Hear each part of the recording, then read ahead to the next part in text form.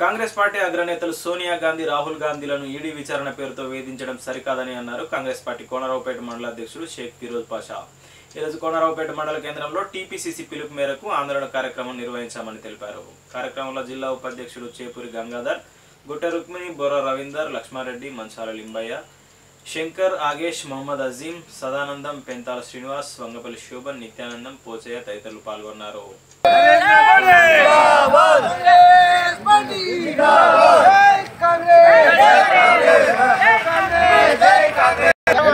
నిన్న జరిగినటువంటి సోనియా గాంధీ గారిని అన్యాయంగా ఈడీ ఆఫీస్కు పిలిపించినట్టు తరుణంలో కోనరావుపేట మండలంలో కాంగ్రెస్ పార్టీ కార్యకర్తలు నాయకులు అందరి మధ్యలో ఈడ రస్తారోక జరగ చేయడం జరిగింది.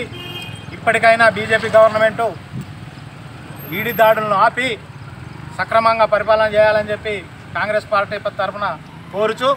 మరియు మీరు చేసేటువంటి పనులు గ్యాస్ సిలిండర్ కానీ నిత్యావసరాలకు వస్తువులకు అవసరం బట్టి పెట్రోల్ కానీ సిలిండర్ ధరలు కానీ ఇవన్నీ పెంచి కార్పొరేటు ప్రజల్ని ఇబ్బంది పెట్టవద్దు ప్రజల్ని ప్రజల్ని ఇబ్బంది పెట్టకుండా పరిపాలన సాగించాలని చెప్పి కోరుచు జై కాంగ్రెస్ ఈరోజు రాష్ట్ర నాయకత్వం పిలుపు మేరకు కేంద్ర పాలనలో ఇవాళ ఒక్క పని కూడా చేయలేనటువంటి నరేంద్ర మోడీ గారు ఇవాళ ఆమె ఈ భారతదేశానికి తల్లి లాంటి సోనియమ్మను ఇవాళ ఈడీ ఆఫీస్కి పిలిపియడం ఎంతవరకు సమంజసమని అడుగుతున్నాం నరేంద్ర మోడీ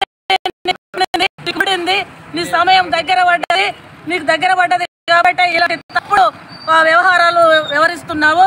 ఇంకా నువ్వు ఈ భారతదేశాన్ని ఇంకేం దోపిడీ చేసుకుంటావు? రైతులను ముంచుతున్నావు. తర్వాత మహిళలు మహిళలు అన్నావు. మహిళల సిలిండర్ ధరలు పెంచినావు. యువతరానికి పెట్రోల్ డీజిల్ ధరలు పెంచినావు. ఇవాళ శ్మశానంలో కనీసం జిఎస్టీ శ్మశాన వాటికలను కూడా చచ్చిపోయిన సేవల మీద కూడా జిఎస్టీని నువ్వు ప్రకటించి వసూలు చేస్తున్నావు. దొంగ నువ్వు లంగవా నీలాంటి దొంగ లంగ ప్రభుత్వం కూల్చే రోజులు దగ్గరికి వస్తున్నాయి. ఇవాళ సోనియమ్మను బేసరగా తప్పు చెప్పి సోనియమ్మను మీ- మీరు ఎంటన్నా మీరు ఆమె మీద దాడులు ఆమెను నిర్బంధించడము ఎంటన్నా ఆపుకోకపోతే ఈ భారతదేశంలో కాంగ్రెస్ కార్యకర్తలు ఒక సైన్యం లాగా నీ ప్రభుత్వాన్ని కూల్చేంత వరకు కూడా మేము నిద్రపోమని హెచ్చరిస్తా ఉన్నాం. జై కాంగ్రెస్! ఏదైతే బీజేపీ ప్రభుత్వం కాంగ్రెస్ అధినాయకురాలు సోనియామ్మ గారిని సోనియా గాంధీ గారిని ఈడీ విచారణ పిలిపించి వారిని కించపరిచినట్టు మేము భావించి అలాగే వాళ్ళ ఆత్మవిమర్శలు చేసుకోవాలి బీజేపీ ప్రభుత్వం. ఇన్ని రోజులు ఏంది ఇప్పుడు ఈడీ విచారణ ఏంటిది?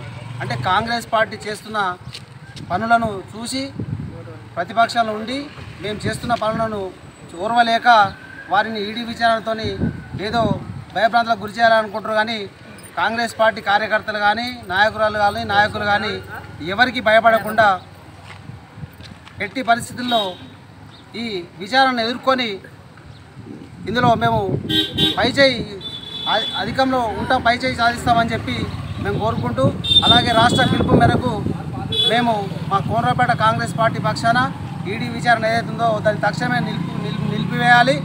అలాగే బహిర బహిరంగంగా క్షమాపణ చెప్పాలి సోనియా గాంధీ గారికి. వారు తెలంగాణ తెలంగాణ తల్లి మా సోనియా గాంధీ గారిని ఈడీ విచారణ పిలిపివ్వడం హేళనగా అనిపిస్తుంది మాకైతే. ఎందుకంటే వీరు చేస్తున్న ఏదైతే కాంగ్రెస్ పార్టీ చేయబట్టి వాళ్ళకు వణుకు పుడుతుంది బీజేపీ ప్రభుత్వానికి. బీజేపీ ప్రభుత్వం ఏం చేసింది? ఈ ఐ ఏడెనిమిది ఏడెనిమిది సంవత్సరాలలో డీజిల్ పెట్రోల్ ధరలు గ్యాస్ ధరలు అలాగే ఇప్పుడు నిత్యావసరాల సరుకుల మీద కూడా జిఎస్టీ అని చెప్పి శవాలు కాల్చే శ్మశాన వాటికల పైన కూడా జిఎస్టీ అని పెంచి